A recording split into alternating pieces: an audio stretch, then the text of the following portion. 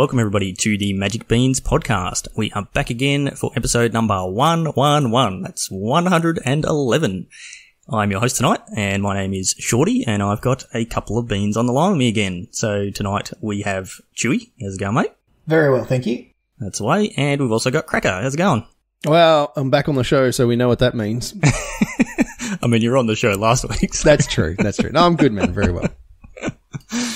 Uh, yeah, so lots of things to talk about tonight. Uh, yeah, as Cracker alluded, he's on here for a very specific reason, as I'm sure if you're vaguely uh, keeping in touch with what's going on in the Magic world, you would know that we had some nice big uh, ban announcements, or well, I mean, the, well, the ban announcement was fairly big, but a whole bunch of other stuff that sort of came along with that. So we will definitely be getting into that tonight, as well as we're planning on looking at the historic format. We've got our one day historic event coming up next weekend to kick off the uh, the Magic Beans tournament series for 2022. So we're going to have a bit of a look at where the historic format's at and what's going on there. But before we get into any of that, Chewy, do you want to tell us about Josh and Pat's MTG Bazaar? Oh, yes, I would like to tell you about our amazing sponsors, Josh and Pat's MTG Bazaar. They are a Facebook auction group where you can bid on their nightly lots of physical magic cards, premium auctions on the weekend. You can get some fancy pants tokens for winning. They sponsor the Magic Beans and our tournament series, of which our upcoming historic event is the first event for this year. So stoked to have Josh and Pat's back in our corner for this year. And when you do jump on via jpmtgbazaar.com.au, give them a like, win an auction, tell them that the beans sent you. Very good. All right. So yeah, we do have a lot to get into tonight. So we're we're just gonna sort of jump straight into it. So, Cracker, banned and Yeah. restricted announcement. We sort of knew something was coming.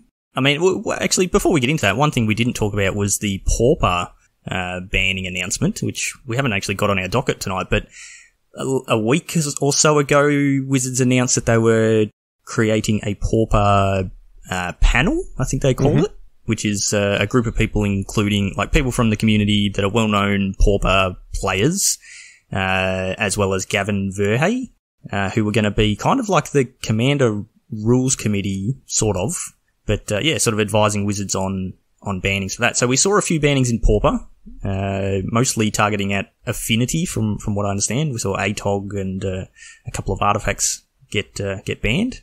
So that came out, but when they sort of announced that, they did preview that there was going to be another announcement coming yesterday or, or the day before, whenever it actually came out. So we, we knew this banning was coming, and a couple of weeks ago we spoke about it on the podcast that uh, they'd said they were going to do some rebalancing for alchemy once the set championship had been played, which was on this past weekend. So plenty of notice that this was coming, uh, but don't know if we were expecting all the cards to be on here that are on here. So do you want to take us through it, Cracker? I sure do.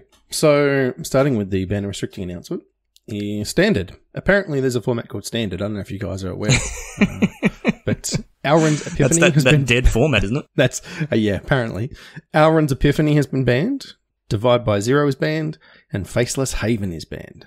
Uh, in Legacy, Ragavan the Nimble Pilferer is banned. In Historic, Memory Lapse is banned from Suspended. And Teferi Time Raveler has been rebalanced and unbanned. So, let's go with uh, Epiphany. It's been the big boogeyman of the format for a while. Either of you guys surprised to see this one hit the chopping block here? I'm surprised it didn't get a banning earlier, um, m- namely because it pushes out. Uh, let me start again. The, they're applying a lesson learned from the previous set. So the last set came out and kind of did nothing, like because Alrund's Epiphany was better than anything in that set. So we saw zero new decks. Well, not zero, but you know, very, very minor impact of a new set on the standard format because Alrund's Epiphany was just clearly the best thing that you could be doing. So I think they've gone, we've got a new set coming out in a couple of weeks. We want that set to make an impact. We want to sell packs. Uh, we want to see new things on Arena because uh, format churn is a better thing for player experience than just being time walked 30 times every time you sit down to uh, play the game. So I think this is a uh, yeah an application of a learned lesson, albeit too late. I think for a lot of people, but it is uh, it's it's better late than never, right? So what do you what do you think, Shorty? Uh, I'm. I was just totally shocked that there's actually bannings in standard. uh, yeah, I, I, thought, as I said before, I thought standard was just going to be the dead format where it's like, okay, you know, we, we can just let standard do its thing, and yes, there's cards in here that people don't like and whatever, and they're either going to play the format or they're not. But alchemy's where our focus is going to be, and so when hey, Shorty, we have, hey, Shorty, Yes. Paper magic still exists. how how many people do you think, or how often do you think standard tournaments fire in paper? Uh, I, I in the think- US and, and, Japan and and places much bigger than than where we live, uh, I, whilst not at the scale that they used to, I can guarantee you that they're happening at, at a local level and, and a you know potentially even yeah. I, I don't think there'd be many. I mean, there, uh, there is there is no larger tournaments for, for starters, but yeah, I'd, I'd be surprised if there's uh, like you, you, just sort of look at our local scenes. The yeah, but we, we live in Australia. Yeah, but it's, uh, it's still going to be the same everywhere. Very, we've got we live in Australia, but more importantly, we live in Victoria, where our restrictions are infinitely more tight than 90% of the rest of the world who have been playing paper magic for months now where it's a still such a novelty for us. So they're they're happening not in the numbers that they did pre-pandemic 100% but they're they're happening. Yeah we're seeing I, tournament I, there's, there's definitely and, there's definitely tournaments being played. I just think that the proportion of standard events compared to other formats is probably extremely small. And yeah i, I just I, I assumed and obviously wrongly that they were just going to let standard be standard so that they didn't have this because as was sort of mentioned in our in our discord this week these standard bannings yes obviously it affects the cards on arena but it affects real life cards where that are worth money in paper sort of thing. And so i was under the impression that they were just going to let standard go and not have to deal with people complaining that their expensive cards just got banned. and Wizard, yeah, Wizards don't I was, I was listen wrong. to people complaining ever. They never have. There's nothing in their history is evidence that. Uh, but if they go, what they've done is they haven't replaced standard. They've gone, standard is a revenue stream. It's diminishing, yes, but it's still a revenue stream. If we introduce alchemy, new revenue stream, not do away with a revenue stream. They are adding revenue streams that that they're a business and that's expansion. That's what they're doing. Uh, so they would never and look.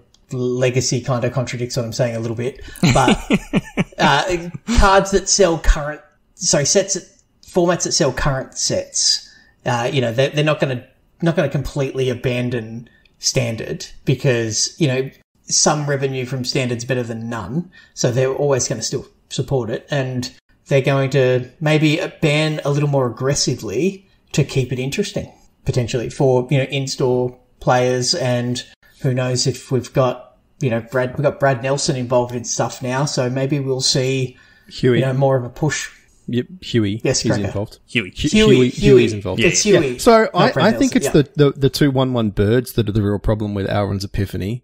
Um, yeah. So divide by zero is another card that got banned, trying to get us back on the ten on minute tangent about standards. That's just what we thought of the bannings. I told no, you. The oh my goodness, you didn't talk about the bannings at all. Anyway, uh, divide by zero. Uh, it's, it's the closest thing we've seen to remand, I guess, in in modern era magic, where you know you're, you're effectively just time walking is is another term that you get used, and and you know the value of drawing a card is pretty huge. So I'm I think people really hated playing against this. Because like I having enjoyed it's not even it's not, yeah yeah correct. It's fun to play right? It's it's that sort of no look you can have another try next turn and i'm just going to get a card that i want and then you know maybe i've got another one. I guess we'll find out next turn. Like if doing that you know it's a huge tempo swing so yeah. It's situationally better than Remand, or it, look, it's more expensive, so you would expect something more for it. But you don't only draw a card, you draw a card that you want, but you've only got so many of those cards in your yeah, sideboard. Correct. And sometimes Remand draws you the land that you need. So it's different. But yeah, I, I think the uh, Remand allegory is pretty close there.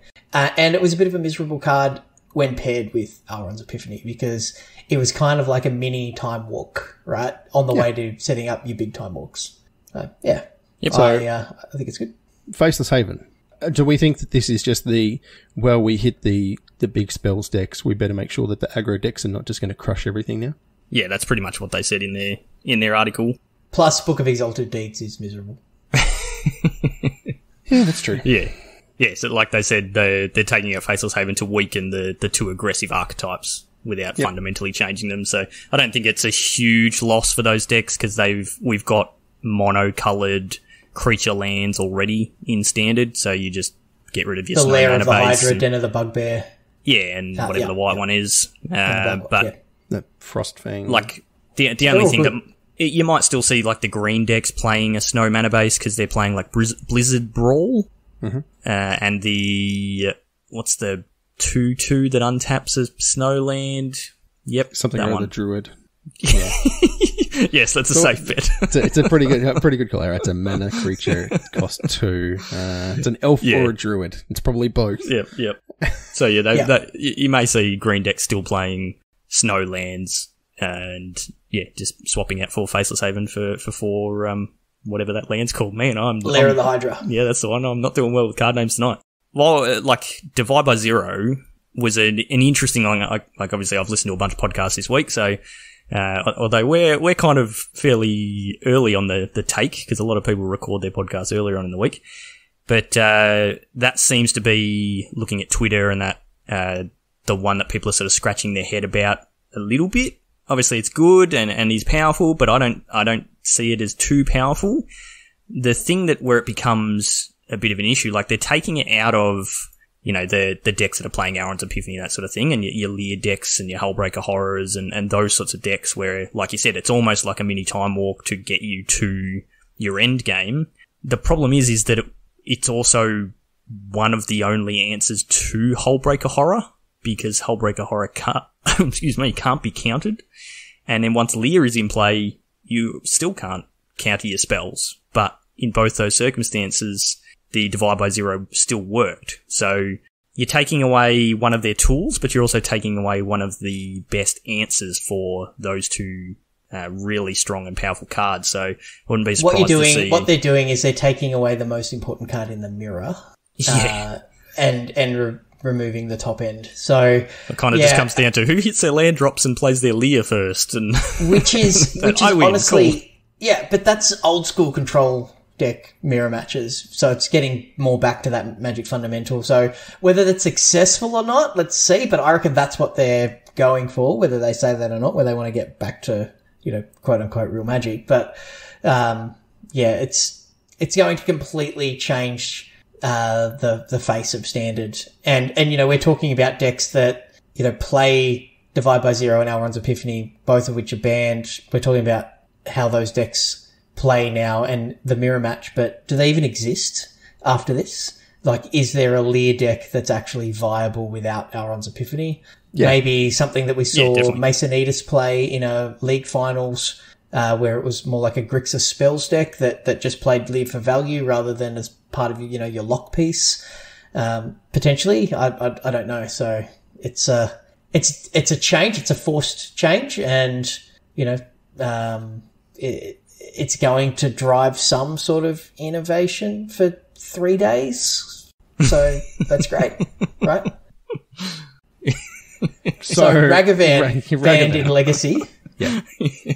Uh, I, I haven't played a single game of Legacy since Ragavan got um, got printed, but uh, it or, seems or like for quite some- a while before then. for quite a while before then. Uh, but yeah, it seems like this was um, being called for quite a lot by the legacy community, and, and people aren't too worried about that. It's not going to impact the price too much if you've splashed out on Ragavan to your modern deck. Your investment's still going to be fine because the you know twelve people that play legacy, um, you know, adding their playsets of Ragavans to the to the market isn't going to you know make your Ragavans aren't going to do a Bitcoin on you. You're you're you're fine. So I think this is just a good change. No problem with that at all. Yeah, I, th- I think Ragavan had become like the the blue red Delver decks were not really Delver decks anymore. They were Ragavan decks with like one or two Delvers, and yeah, it was just sort of Well, they're, they're Dragon Taking Race over the Channeler decks as well is the other thing. yeah, The- yeah. Delver is Ragavan like the third decks. best Delver now. Yep, yep, yeah, and and I, I guess sort of the thing in legacies you've got, and they mentioned this in the article, you've got Force of Will and Daze to protect your Ragavan. So i- in the same way that you used to play a Delver, flip it on turn two, and then just protect it for the rest of the game to win. Well, now you had Rag- Ragavan that was doing the same thing, and it, and Ragavan just generates so much more value than Delver ever did because the the two damage from a Ragavan as opposed to the three from a Delver really doesn't matter in, in Legacy when you're just controlling the game. So yeah, I, th- I think people are pretty keen to or glad to see that that's gone. Surprisingly, I guess surprisingly to me, I, I thought maybe it was going to go to uh, go in modern, but maybe we're in that uh, little bit too close to when Ragavan was printed. We can't ban it in Legacy and Modern all in one go and destroy everyone's collections. Uh, Well, but I, I wouldn't, wouldn't be surprised no- to see it go at some point. no bans in modern for this, so Yeah, they're yeah. they're obviously somewhat happy with the you know the diversity of the format. And the thing is, what I think we discussed this on a previous cast recently. They'll ban things around it before they ban the marquee cards from the Yeah.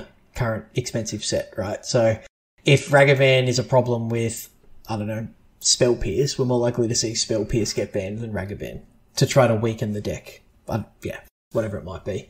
Yep. So it's um you know they want to keep selling the the decks, selling the packs, and you know if the backside falls out of people's investments from a, a banning like that, then you know there'll be outrage. So Yep. And memory lapse in historic, I don't, I don't think anyone's surprised that that's staying banned in, in a similar to way what we were saying before with divide by zero and, and remand. Memory lapse was all way Even worse. worse. than You could that. just draw that again like next time turn. walking people. yeah. Uh, so yeah, now we, we should get our uh, our wildcards for that, which will be rares. Actually, I think I'm getting like a dozen Correct. It's four, four from four mythics from Aaron's Epiphany, four mythics, uh, four rares from Faceless Haven, and should be four rares from Memory Lapse. So that's what I need just before a new set. Good job. yeah, I've only got like six rare wildcards, but Yeah, like many left. twenty two mythics or something. It's just yeah. Yeah. And your favourite Planeswalker is back, Cracker. He's back. Let's talk about he just Teferi the got- Time Raveler. Put on a little bit of weight and He, he did. He in just his time that he was gone. he used to, to use Teferi's protection, and now he's back again. So the He's been in lockdown for a long time, and he's put on a whole extra mana. That's what's happened. yes. He's uh he yeah. So what have they done to him? They've made him cost four, and they've upped his loyalty. His starting loyalty is now five instead of three, I think it was. No, starting loyalty was four. Uh, before, was sorry. four. Yep. Yeah, and his static ability says your opponents can't cast spells on your turn. So Which is a lot better. it is so much better. Like, so much better. I still don't like the card, but I mean, there's just some residual hate there, I think, more than anything. Uh, he doesn't fundamentally break the game. This, this effect is something that we have seen many times before. You know, there, Yep. there are a bunch of creatures, particularly in white, that have this effect, uh, you know, where you can, uh, I'm trying to think of what is. Grand Abolisher is one where, you know, like it's white, white for a 2-2 and opponents can't cast spells or activate abilities during your turn, right? Like it, it is a thing that exists. It doesn't break your own turn. So, uh, yeah, I mean, this is the thing to do, right? And I guess if it's still broken and super annoying, then they have the, the ability to make more adjustments. I like this change a lot. Uh, coming down on turn four versus turn three, or turn six instead of turn five, if you're keeping mana up and, and things like that, is a huge difference uh, in a format like Historic, where you've got some pretty fast aggro and combo decks. And I don't know, Shorty, if you've ever cast a uh, a finale uh, trying to get your bin chickens back, and they've got With a Teferi in play. yeah, that's a that's a pretty big feels bad moment. I've only done it once. I did learn my lesson, and but I was confused and I had my opponent like spamming the oops button at me and just made me grumpy. So yeah, it's uh, it's, it's it's like oh that works that way. yeah. That's kind of dumb that it does, but well, now that I think about it, my understanding of rules, yes, it does make sense, but Yeah. it's No, no, unintuitive. it's it's still dumb. it's the same with Very, very cascade dumb. spells. Yeah, there's a, Yeah, there's a bunch of things like that that shut off. But uh, I mean, so many times when it was in standard, it's like you know they cast a fairy on turn three, and it's like, oh yeah, that resolves. I'll just cast my opt at end of turn, and then you get it just skips straight to your turn, and you're like, why didn't I get to cast my opt? Oh, that's right. I allowed that Teferi to resolve before I tried to cast my opt.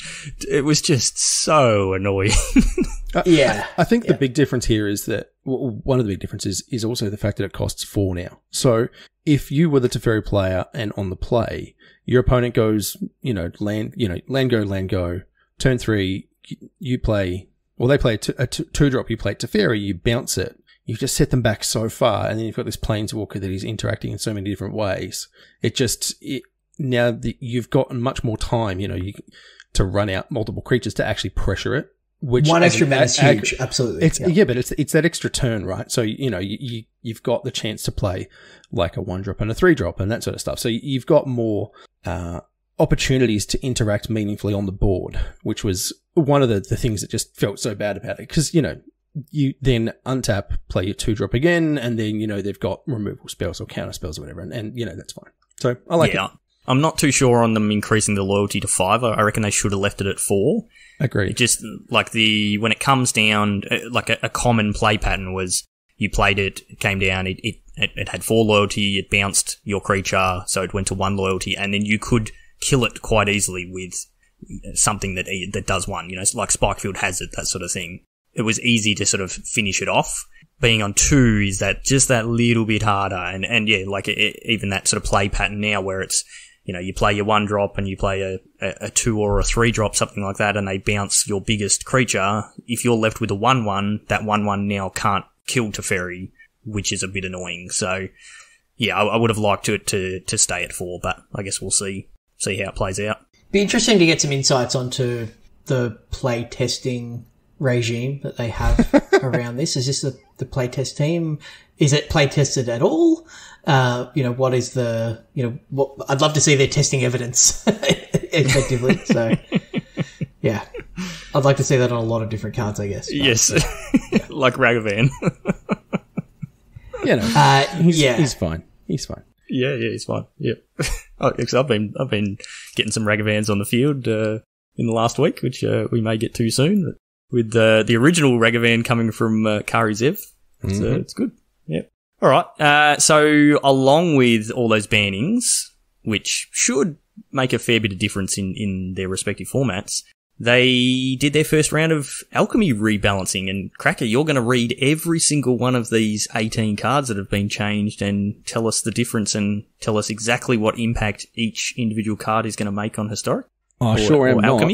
Nope. I think Shorty's going to put all of that into the show notes. That's it. Uh, yeah. exactly right. Yeah. We're gonna we're gonna So- link the article. So they what they did in summary is they reduced the mana value of a bunch of cards. They really pushed the dungeon mechanic in a bunch of other cards because turns out that that was in fact just unplayable anywhere outside of limited, and probably still is. Uh, Yes. and then there are a few cards that got so those are the buffs, and then there are a few card adjustments that are actually worth getting into because I think these are the the ones that uh, are really well cards that saw play, and you know the, these are the adjustments that we're interested in. So these are the nerfs, but they haven't called them nerfs because I saw some interesting theories about why they couldn't call it nerf because Hasbro owns Nerf as well, and they don't want something. Yeah, There they was don't some want very their brand associated with. correct, correct. There was some very convoluted Uh. logic, and I went, you know what? It's just dumb enough to be true. But anyway, I mean, Uh, if they call them nerfs, like the the common parlance or whatever is that that is a Mhm. bad thing, and so then they're admitting that they're making things worse, Exactly. and then they are more likely to have to give out wild cards and whatever. So if they make Yeah. adjustments, then Correct. yeah, we're we're, in, we're just Just- re uh, just rejigging the knobs. Yep, yep, exactly. All right, get All into right, First adjustment: divide by zero. Uh, only learns if it targets a spell with mana value four or less. So Yep. if you bounce a seven drop, you don't get to learn, which is interesting. Uh, fearsome whelp.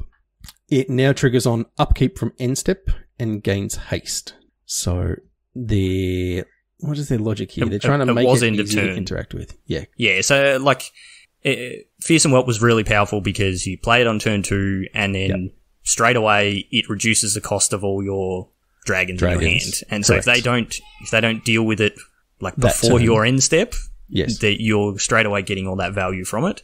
And then if they can't deal with it the next turn, then all of a sudden your dragons are getting super cheap. So uh, Yeah, on your correct. upkeep, it gives it gives the opponent a chance to draw a card and answer it in their turn before you get that value. The haste, Yeah. giving it haste, I'm not too sure about. I think No, that's still whatever. trying to keep it keep it pushed. But uh, That, Yeah, it's- that's it's a definitely model. improvement. Yeah, the the fearsome whelp uh, adjustment. I nearly said um, the, the soft uh, pneumatic dart uh, gun name.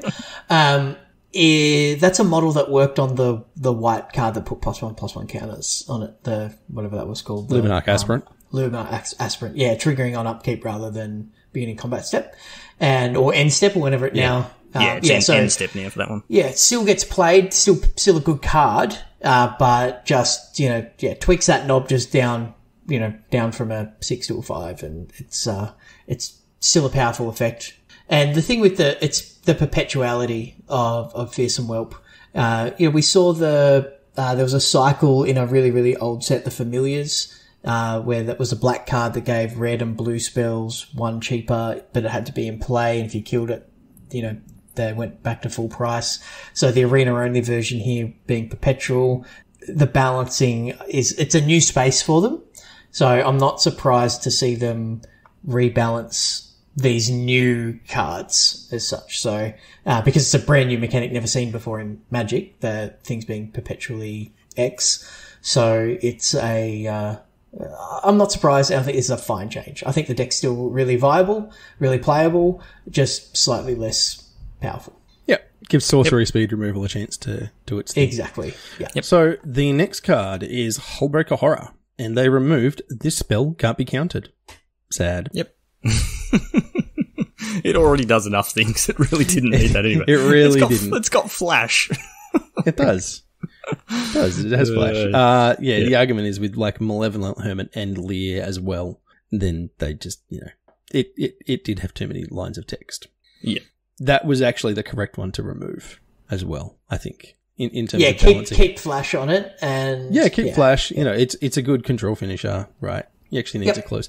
Yeah. The only, only other change I fair. could see them making on this is the return target non-land permanent to its owner's hand is changing that to target non-land permanent and opponent controls, Yeah, that makes sense. uh, just to power it down a little bit because that saves the bouncing itself thing. yeah, which is Uh, but I guess they'll, they'll see how they go and f- I cast it a few times by like in response to you targeting my thing. I'm going to kill your thing and yeah, bounce my and thing. bounce my dude. Yep. Yeah, yeah. So that's pretty good too. seems Um, the other one is a card that I have lost to, or the next one is a card that I've lost to quite a lot uh, when I'm playing against a white base deck, which is the Inquisitor Captain. They've added if you cast it and it enters the battlefield.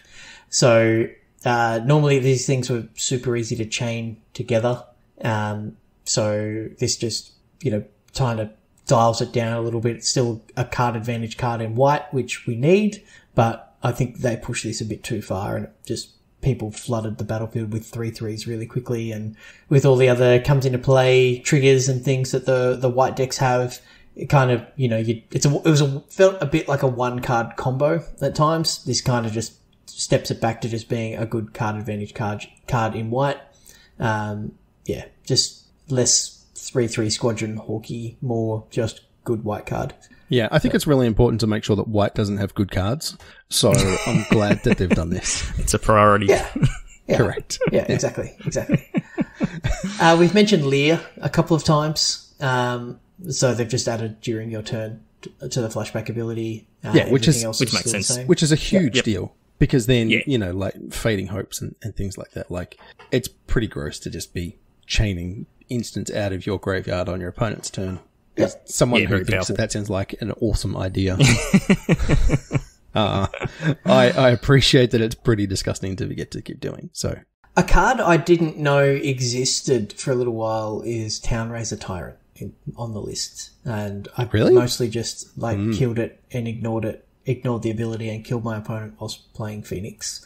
Um, you know, if you just go, oh yeah, I'll take two from my land, but I'll Unholy Heat your Tyrant and bring back a bin chicken and just attack you and win. Like it's never really been a problem for that matchup particularly, or maybe I've gotten lucky. I, I don't know, but yeah, it, it, there's a red green land destruction deck that that gets around, and this is part of it. I guess this is still a playable card because red green land destruction decks still need you know some way to win the game, but it is a bit of a juxtaposition where it's like I want to blow up all your lands except that one. right? So it's. I, a, I think this saw uh, more play in alchemy than in historic, though. And so the, Yeah, the, I've, the I thing with seen this it once was in historic.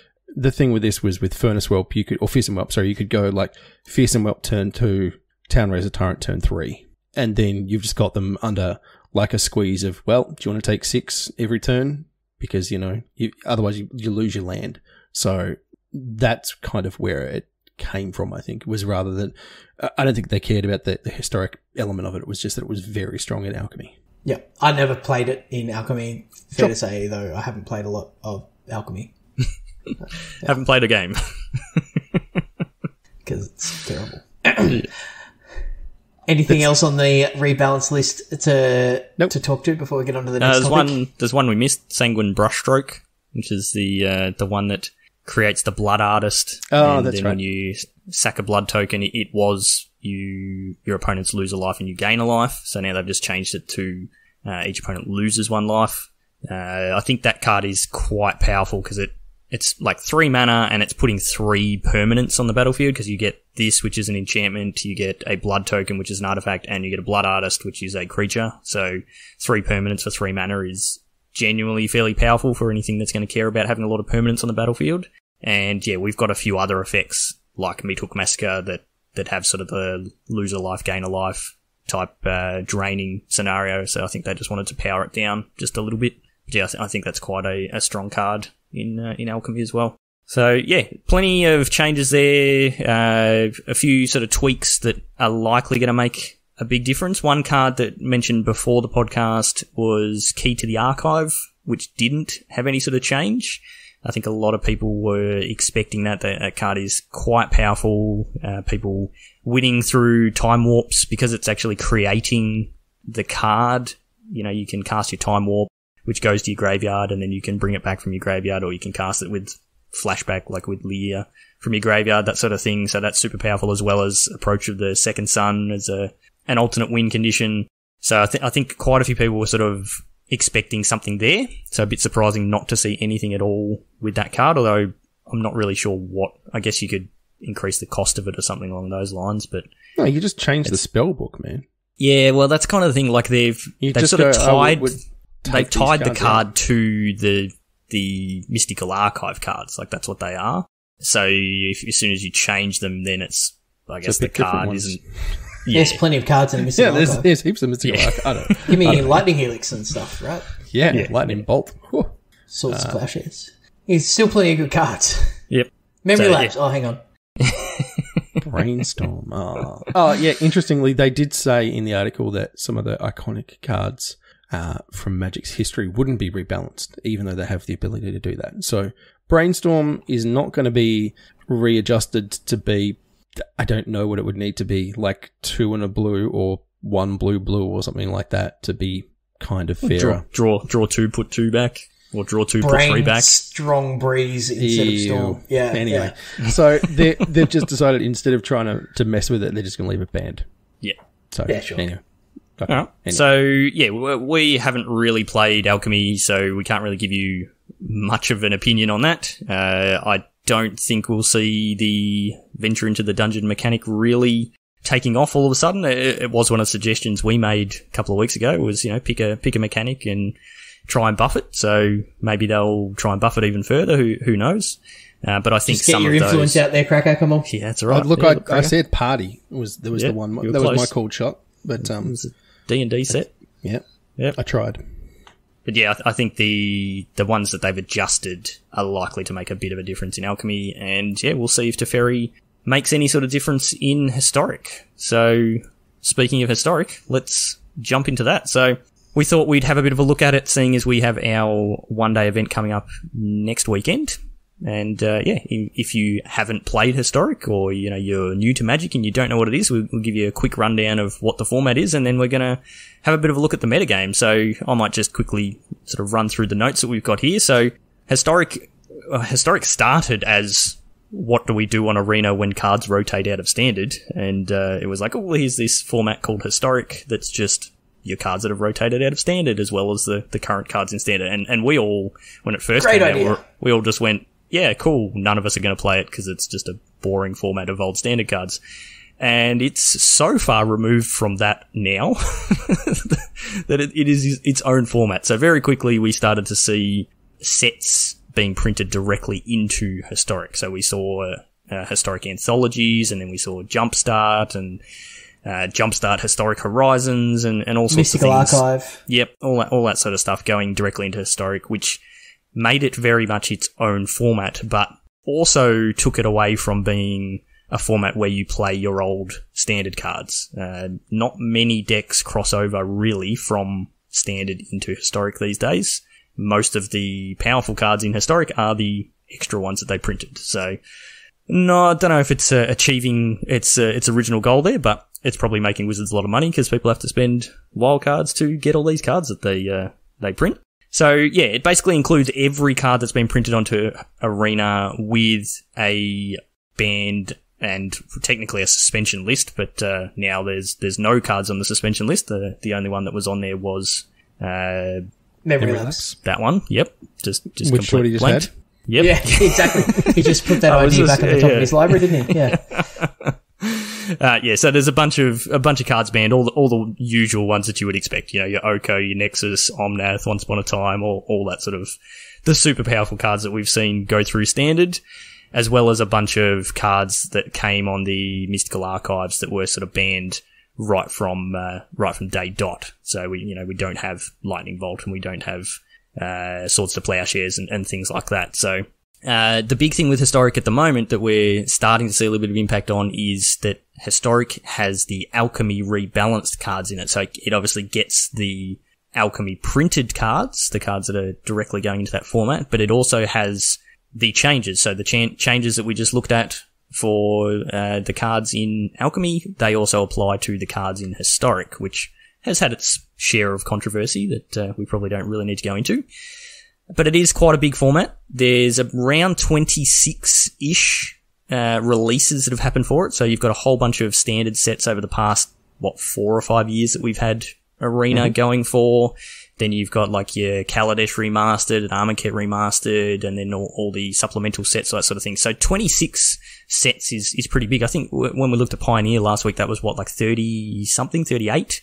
So right. Pioneer's, Pioneer's a bit bigger, but Historic's probably been a bit more uh, curated in what's being printed into it, whereas Pioneer is very much just the cards that have come come from standard. So because of that, it kind of has that feel of being powerful like modern, but not quite to the modern level. So it sort of fits somewhere between Pioneer and Modern for uh, for power level, but it does also have a bunch of cards that aren't legal in Modern that are legal in Historic. Cards like Faithless Looting, as as an example, which is banned in Modern, is legal uh, in Historic. So interesting format. I've been playing a bit of it over the last couple of weeks and, and quite enjoying it, and I think uh, you have too, Chewy. So.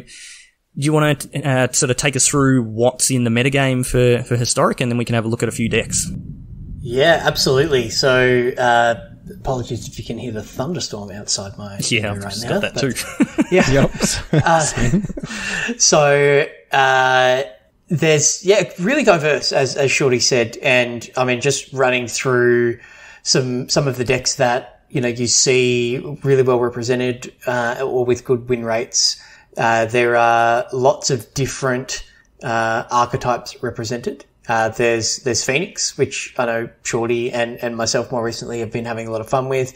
There's uh, the the sacrifice decks, either the Golgari food or just the uh, Jund or Rakdos sack. There's the Scurry Oak Heliod combo, uh, Dreadhorde Arcanist decks. Uh, there's the there's the creativity decks. The Bant comes into playability, Aura's affinity, uh, Goblins, which was once the you know the king of of the format, it still Good old exists. Muxus. You got old Muxus, yep. There's Gruul and Mono Red uh, with the aggressive strategies. Rogues from Standard just got a better mana base and until this week had memory lapse. Uh, so definitely was very, very powerful. Um, elves. There's the Mizzix Mastery decks. There's Dragonstorm combo decks. There's all sorts of stuff. It's super diverse. Uh, it, it's really really fun. Uh, I've only had one time jamming it on a, on arena through uh, the last couple of weeks where it's like, oh, I feel like I've played this against this deck a lot today. Everything else has just been, you know, a different deck every every matchup, and it's that's really fun, and you know, it makes you, you know, have to approach deck building from a different angle when you have that diverse metagame. And sometimes you have to go, well, I'm going to just try and do my thing because I can't cover every angle. And, uh, that adds a, a bit of, um, a bit of drama to your matches as well, where it's like, well, if they've got it, they've got it. If they don't, I win. Then you, you've just got to kind of throw caution to the wind. And I, I've enjoyed that aspect of the, the gameplay. Uh, it's been, been good fun. What about you, Shorty? You've been playing it a lot through the events and streaming a bit the last few weeks. Yeah, I've jumped on and done done a couple of streams with. Uh, I did a stream with uh, Phoenix uh, the first time, and, and yeah, did did quite well with that. And then yeah, just this week, once my PC decided to behave itself, I jammed a bit of mono red. But yeah, I've, I've found the same thing. It's been very diverse. I mean, I'm, I think both of us have been playing quite low in the uh, the ladder ranks. Me especially, uh, seeing as I've been playing the events as well, not not actually ranking up on ladder. So I might be seeing a a more diverse meta than is actually the case, sort of up up higher in the ladder. Come on, man! I'm yeah. platinum one. Oh, I'm right up there. I'm, I'm still bronze three. okay. I am. Uh, yeah. But yeah, very, very cool. And and we've said it before that the format like feels a lot like modern, where you can pick a deck and and kind of play whatever you want and have have some fun with it. Find uh, something that suits you. So, Cracker, have you had a chance to play much of it?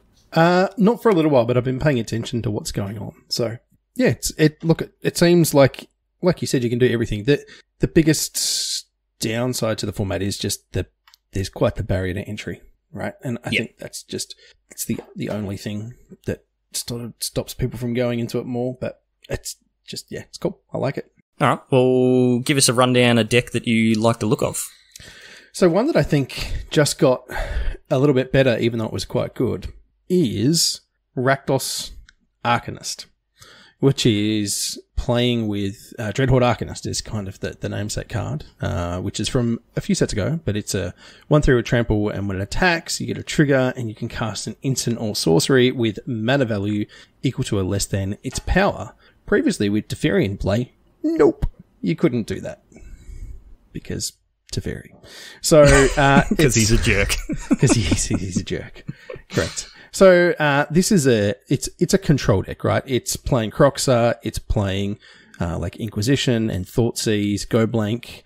So it's it's a Rakdos mid range control, but pr- probably mid range deck more than anything.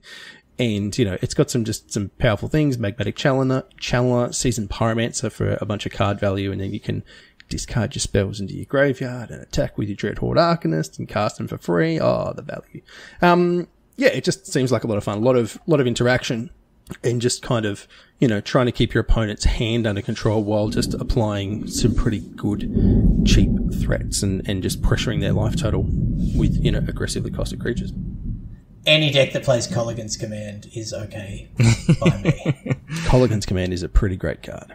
A very, is. very good magic card. Yeah. Yeah, very Absolutely. low curve in this deck. Like, and, and again, this is where it Super sort of looks looks like a modern deck. Like, all your creatures are two drops effectively, except for your season pyromancer, which is a three drop, and then we've got one. I don't even know what this card is. C- Citystalker Connoisseur. Apparently, this is an alchemy card that I've never seen before. Yeah, this card's quite good. I mean, a, a four mana three three that just you have to discard your most expensive spell. and you get a blood token just for just for value. Yep.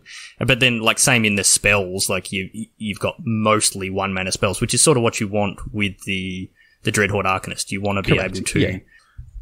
At least something off of it the first time it attacks with its uh, one one power, and um, yeah, just a, just all the all the value spells that definitely makes it look like a modern deck. So yeah, very yeah, very you cool. used to see used to see Gruul lists that would play like pump spells to make Yep. the Arcanist bigger, so you could cast higher mana value spells out of your graveyard, and they're just worse.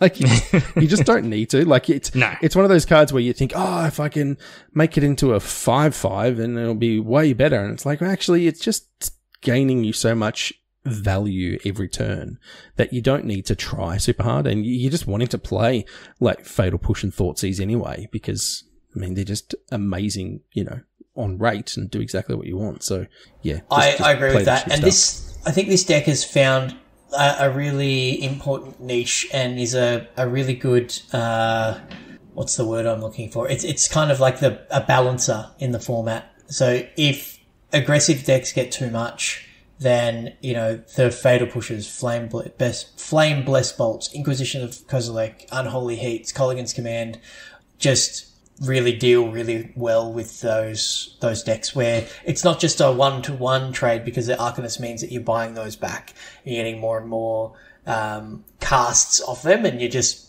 controlling the board, controlling your opponent's hand. Eventually, you just play a Kroxa and you win. Uh, and then against the control decks, you've got yeah, you've got all of your Thoughtseizes and Inquisitions and Go Blanks, and then recurring those as well. And then you play a Kroxa. So it it's really really well set up, and it's, it's, really, a really good vested magic.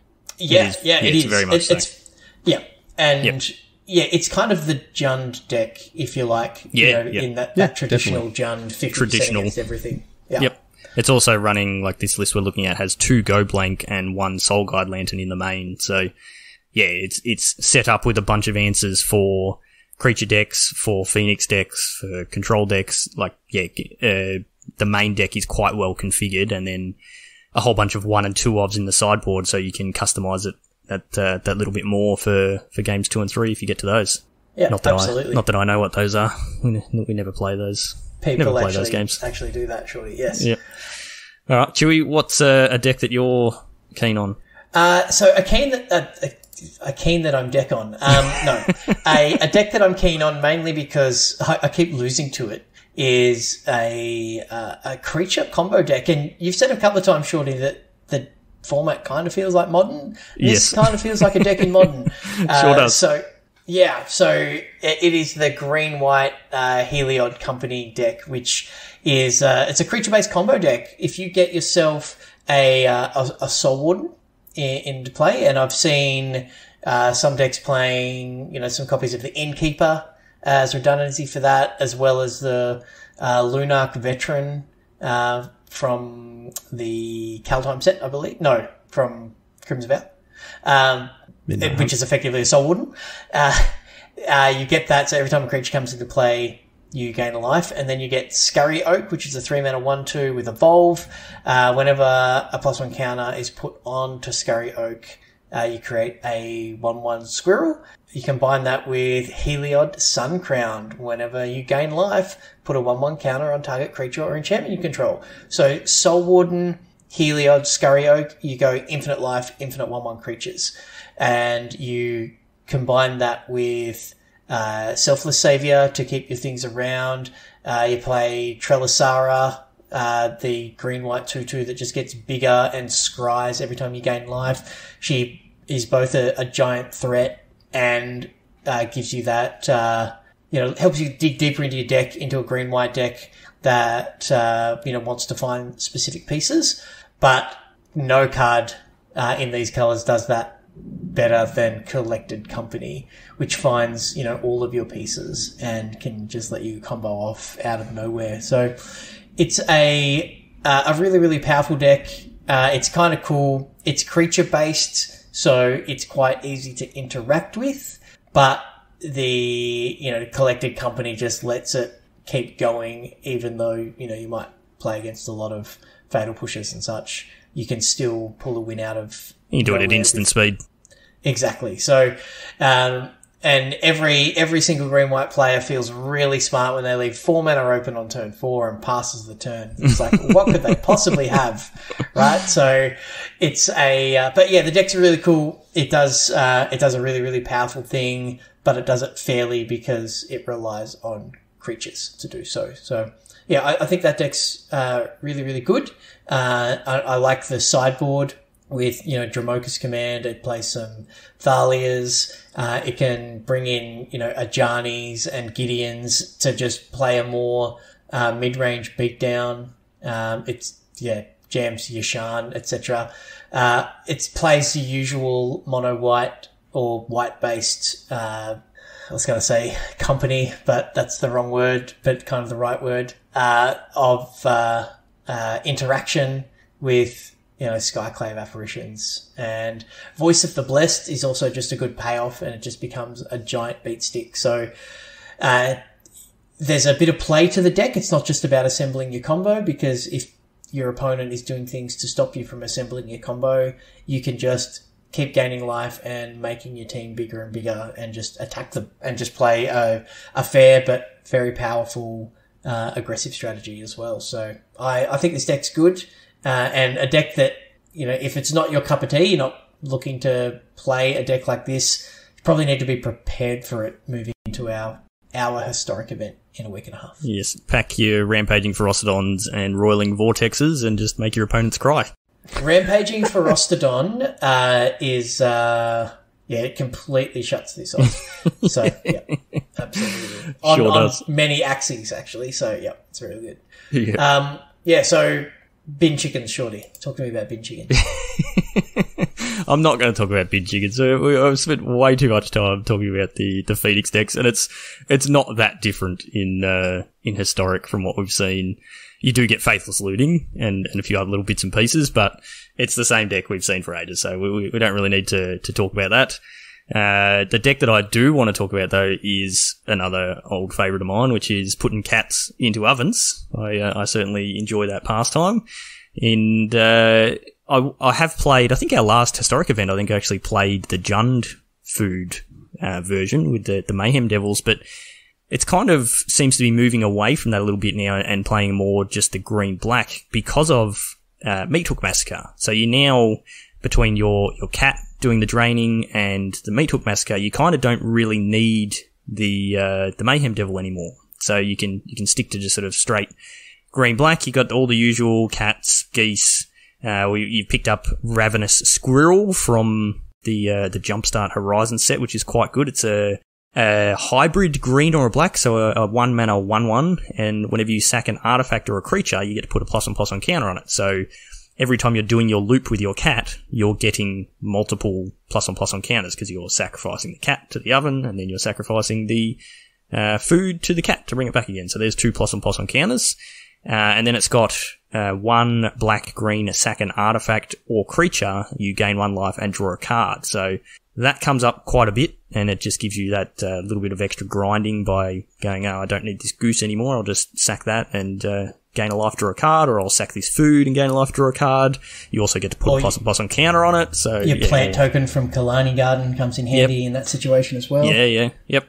Yep. Uh, yeah, and then you've just got, you know, fatal pushes and village rites and deadly disputes and all those sorts of things that, uh, let you sacrifice your creatures and, uh, destroy your opponent's things or draw you cards and, and all that, uh, your, your ovens and trail of crumbs. So, very cool deck.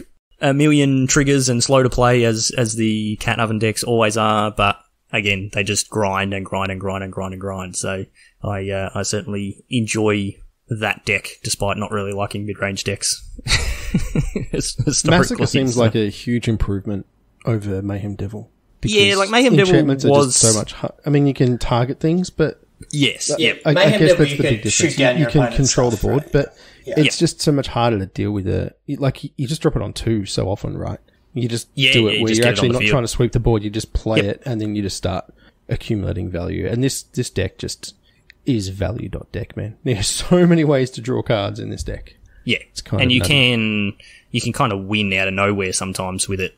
You know, you've got a cat and a, a goose and a squirrel and, and whatever, like you know, three or four creatures on the field, and you just go, oh, okay. Well, if I just like meat hook massacre for one and wipe my board, uh, you you know take that last four points that I couldn't quite quite get there, and or it keeps you alive or, or whatever. So yeah, it's it's very versatile, a very versatile card, and it just fits perfectly in the plan that you're already doing. So uh, not surprised to see that that adopted there. Yeah, you, you do miss the ability to control the board. Or probably more ping down like planeswalkers and things like that that you had with the, the Mayhem Devil, but the Meat, Meat still controls the board enough with, with wiping it. So uh, there's not really a you know there's decks that play planeswalkers, but there's not like a you know a Super Friends deck that's tier one or anything in the format that you're really too concerned about that Yep. either. So you know if Yeah, someone a wants couple- to there's tap a couple of control- to play to Teferi, you just kill them. Yeah, it's a couple of control decks getting around, like Jeskai and Azorius, that sort of thing, that, that do like to play that long, slow game. But, uh, yeah, the, the deck still, still grinds pretty well, so, yeah, it's good. You guys want to mention a couple of other decks that you, you like the look of? I think, Cracker, you're, uh, you're a bit keen on some Storm action. Dragonstorm, man. Chewie, do you remember when Dragonstorm was like tier one deck in standard? Oh yeah, yeah. No, Yeah. I remember that. That was when Jen was playing a lot, and she was just like beating people down. Yeah, I I, just remember her saying, Yeah, I, I, I remember Jen sitting in the finals of an F and M, and uh, she was just you know played a you know an Isamaru followed by whatever two drop, and their opponents you know serum visioning and stuff, and Jen's getting a bit impatient because they're taking a really long turn. Jen's like, "Can you kill me? Because you're dead next turn. Can you kill me?" She's just, he's like, "I don't think I can." So Jen's like, "Okay, game two. She's just really impatient with the guy. So yeah, um, little lesson there for Jen: be be patient with a combo player every now and then, please. Uh, something she's learned over our marriage, which is good. Yes. So yeah. All right, Cracker, quickly, quickly run us through what, what on earth Dragonstorm is. It's a, a nine mana sorcery that says search your library for a dragon card and put it into play. Then shuffle your library. Storm. So when you play this spell, copy it for each other spell played before it this turn. Yeah, so there's just a bunch What, of ways what dragons are we getting? to Terror of So- the Peaks, Velmac Yeah, Terror of the Peaks with multiple copies of Bladewing the Risen, and it just goes infinite. You get Yeah, infinite numbers of Terror of the Peaks triggers with the two Bladewings Yep. because they both come into play legend rule, but then bring each other back, and you dump them into the graveyard with you know your cathartic reunions and all of the other ways to discard cards, faithless looting, and then you Mizzix's Mastery or uh, back your uh, Emergent Ultimatum and then go and get uh, the cards that you need, or you Unburial Rites your Scholar of the Lost Trove, and it, it goes and, and does that for you as well. And uh, yeah, you just kind of combo people out. So it's it's kind of a reanimator deck. It's kind of a combo deck, uh, but it's mostly a combo deck, I think. Nice. Yeah. So- sounds like a bit of fun. Yeah, it's kind of annoying. I got a got a guy to one the other day. Combat off. also plays Pactum Negation, which is pretty spicy. yeah, right. Yeah. Yeah. Yeah, nice. Uh, you had another one you wanted to mention, Chewy? Yeah, another one just because I, I enjoy this as, as an archetype. I didn't, I haven't seen this since I've been playing through Platinum, so that might tell you how good the deck actually is, but it's sweet. Uh, and it is a, uh, Selesnya green white, uh, Enchantress deck. So, um, Destiny Spinner, Sanctum Weaver with Sythis, and uh, you get the uh, Enchantress's Presence as well, which was is one of the cards from the one of the sets that what are the what are the Jumpstart Historic Horizons. jumps up- yeah one of those yep uh, and yeah you just get a whole bunch of enchantments uh, you get Sterling Grove so all your enchantments have Shroud but it's also a tutor so you can go and get things like Borrowed Time and uh, Gideon's Intervention or Rest in Peace. Uh, it also plays Nine Lives Solemnity. Uh, so it's a, yeah, draws a lot of cards, generates a lot of value, uh, can just, uh, Sigil of the Empty Throne and make an army of five fives, or it can just say, you can never kill me now, um, and go from there until eventually you create a army of four four angels and kill them. So, uh, you know, I, the deck's cool. I, I, I like it. Uh, I don't know how good it actually is, but I just think it's cool that it exists. Yeah. Well, yeah, like we said, super, super diverse format. There's tons of different decks. You know, just jump on MTG Goldfish and you'll see uh, so many, so many different decks there. And like look at looking at their meta game, is it Phoenix is only twelve point seven percent of the meta, which is stuff all. So uh, yeah, very very diverse. Pick something that you like and yeah, run with it. And uh, yeah, there's also a bunch of good budget options in in historic as well. So you can cut down on those wild cards that you're using. So Chewy, you're intending on playing the historic event. What's your deck for that? I'll probably play Phoenix because that's what I've been playing um, most of, but Yep. Um, I might spice it up a little bit. Uh, but yeah, I I guess the the Phoenix deck is my kind of my default, but I wouldn't mind playing something a bit fun. Yep. I think I would be playing Phoenix as well, which means we're just, you know, telling all of our, uh, our Beans players that are going to be playing in the historic event to start packing all their sideboard hate, uh, graveyard hate, because uh, you've got probably at least two Phoenix players. Cracker, I don't know if you're ending, intending on playing, but if you are, what are you playing? Rogues. Ugh. I love. Oh, I know. I love rogues. Oh, come on! I'm doing half your job for you. What are you talking about? Yeah, put mill, all mill, your- mill those Yeah. bin chickens, man. I, don't, I don't mind the rogues Correct. matchup. That's fine. Uh, I, I just I, I love that deck. I had so much fun with it. So yeah, I'd, I'd probably just do that. Probably because Yeah, I've fair got enough. a lot of the pieces as well, so I wouldn't have to sink a million wildcards into it. Would be kind of yeah where I'd be at. yep. Nice. Or mono red, just Torbrand chain whirler. Yeah. So I, I played Mono Red this week and it was pretty much just a full creature deck except for four Roiling Vortex in the in the main. Everything else was creatures, which was a little bit odd for me with the with the Mono Red deck, but it was pretty powerful. It uh, did quite well. The Reckless Ringleader, the the Goblin one one Goblin with haste that perpetually gives a creature in your hand haste. Very very powerful when you can play that on turn one give a Kari Zev in your hand, haste. So then on turn two, you're attacking with the 1-1, the Kari Zev and the Ragavan. Works quite well. So yeah, pretty powerful. And, and actually surprisingly, which was a bit odd for a mono red deck, like the, the mono red decks have played in the past where you want to go quite wide and play Embercleave, you can get away with just having two or three creatures on the field and recover from board wipes fairly easily. You do have a lot of creatures that, that do have haste or uh, even Menace. Menace comes up quite a lot, especially with like the the Ferocidon as well. So, uh, and then you've got yeah all your other you know your mono red burn decks and your experimental frenzy decks and a whole bunch of different different mono red decks. So plenty Yeah, to if I was choose from there if you're a red mage. mono red, I'd probably want to do just live the dream of frenzy plus um steamkin again, Yeah. and just Yep. chain off. I think, Yep.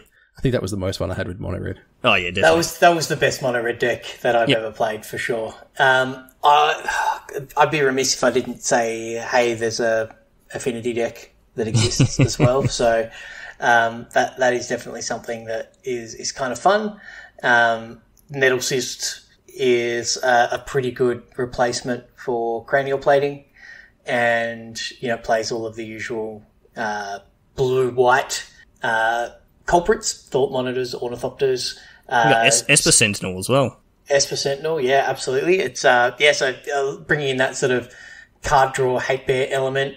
Uh, also, uh, staff, the Black Staff of Waterdeep, uh, turning your Stonecoil Serpent into a base four four, then whacking a Nettle Cyst on it. That that's some beatdowns. That is some Nice. beatdowns. So yeah, I, uh, I I like I like the look of this deck as well. So that that may be something that may be contemplated when thinking about what to sleeve up. So we, we're gonna we're, we're gonna tell people that we're playing Phoenix, so they bring all their graveyard hate, and then we're not gonna play Phoenix. Going to do the switcheroo. So, sounds like a good it. plan. Got Then I'm just going to Nettle Cyst 'em in the face. It's going to be Bait and switch, man. yeah. Very good. All right, so yeah, uh, historic's cool, a very cool format, but is expensive to get into just with your your wild cards. So try and find a, a budget option if you are a little bit tight on wildcards and definitely come and sign up for our event. So it is next Saturday, the fifth of Feb, will be the first event in the Magic Beans tournament series for 2022. There'll be a bunch of invitational points up for grabs just by playing in it. You will be getting an invitational point, so you'll be uh, already on the on the leaderboard and uh, looking like you're qualified for the Envy. So it might be your only time for the year that you can say, "Hey, I'm qualified for the Magic Beans Envy because I'm top 16 on the the leaderboard or whatever." But if you're not playing it, you don't you miss out on those points. So get in on that. If you're not in on all that sort of stuff already, the best place to do that is to join us in our Discord. So that's where all the communication for the day will happen. You will need to be in our Discord if you're not there already. And uh, yeah, we've got an awesome community there, so come and join us in there. And the uh, the link for that is in the show notes, as it always is. So the uh, other usual housekeeping things, we've got our merch store that uh, you can buy t-shirts and hoodies and, and those sorts of things from. So go and check that out. Go and uh, check out Josh and Pat's MTG Bazaar, jpmtgbazaar.com.au. Take you straight to the Facebook auction group, and you can check out their daily auctions and the Win It Now posts that uh, Pat puts up every night. You can find us on YouTube, Facebook, Twitch, and Twitter. All of those places, just search for Magic Beans or Magic Beans Cast, and you'll find us there. If you want to find me on Twitter, I am at Piece Inc. Chewy, you are. At Chewy MTG. And Cracker. At Joel Hill underscore. Very good. So that's it for this week. Thank you, as always, for listening. Stay safe out there, and we will see you all next time.